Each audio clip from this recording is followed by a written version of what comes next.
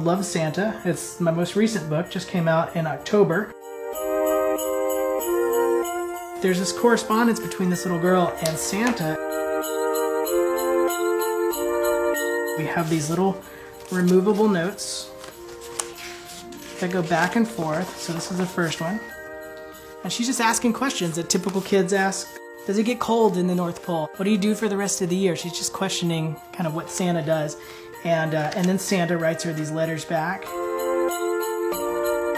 It's really interesting, this relationship this girl has with Santa. At the same time she's aging. She starts out as a five-year-old, six, seven. And so what was fun for me as an illustrator is to figure out how a five-year-old writes the word Dear Santa or To Santa versus a six-year-old versus a seven-year-old. And it's quite different. And, you know, as they, they age, they ask different questions.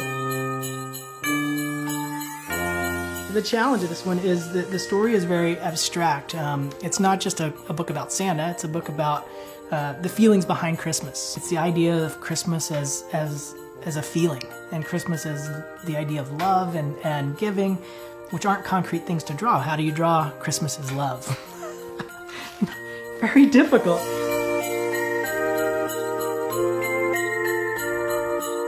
It's easy to illustrate Santa, but how do you illustrate uh, the feeling of Christmas is magic, or Christmas is the love and the feeling behind Christmas?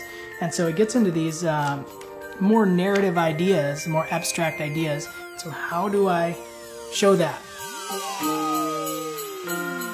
And so, you know, a page like this where she's sitting by the window and reading and this warm kind of light, this kind of cozy, cozy feeling.